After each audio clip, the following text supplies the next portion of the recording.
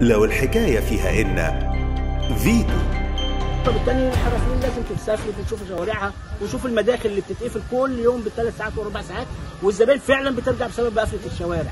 فما يبقى الحرفيين زي ما انت شايفة فاضية محدش فيش شغل ما فيش شغل. الصناعيه كلها ملمومين حواليك اهو يبقى يبقى أنا عندي المواعيد. وعندي الشوارع لازم تتسفلت وعندي مداخل الحرفيين وبعدين الورش اللي بره الحرفيين لازم يشوفوا لها حل. طب انت سايب الورش بره الحرفيين.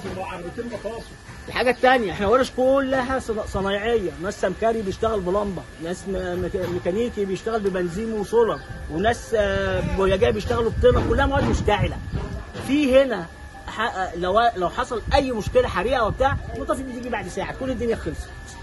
يا إما الناس الناس تقدر تطفي بالمية بتقدر تقدرش خلاص تكون الدنيا فين وحصلت قبل كده كذا حريقة والموضوع باظ. فما فيش أي مجال لل- للحماية المدنية في الحرفيين ما فيش حتة ما فيش واحد لا عشان تتصل تتصل بمطافي تجيلك بعد ساعة تكون الدنيا خلصت ولعت. فما ما ينفعش. آه، الجامع ورا في العيد اللي فات آه، ولع. ولع ثلاث ورش والجامع نفسه صفي وشقق فوق اتحرقت.